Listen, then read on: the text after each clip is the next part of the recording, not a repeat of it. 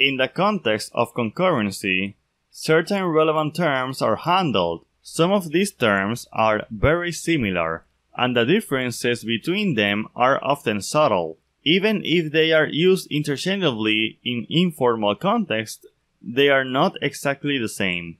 We will look at the concepts of sequential programming, concurrency, multithreading, parallelism, and multitasking.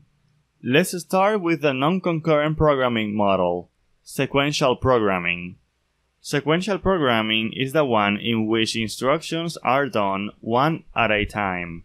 That is, where there is no concurrency of any kind. One of the advantages of this programming model is that it is relatively easy to understand since it consists of following a series of steps in an orderly manner. The problem with this paradigm is that sometimes it can be slow. Concurrency. Concurrency means doing several things at the same time. This is contrary to sequential programming. The term concurrency encompasses everything related to, in one way or another, doing several things at the same time. There are different forms of concurrency. As we have seen, a fundamental concept is threads we remember that a thread is a sequence of instructions that can be executed independently of other code. Multithreading. Multithreading is the ability to use multiple threads. It is important to clarify that multithreading does not imply parallelism, since we can have a computer with a processor that is not multi-core and still can use multithreading. This is because an operating system can provide several threads and execute them sequentially without using parallelism.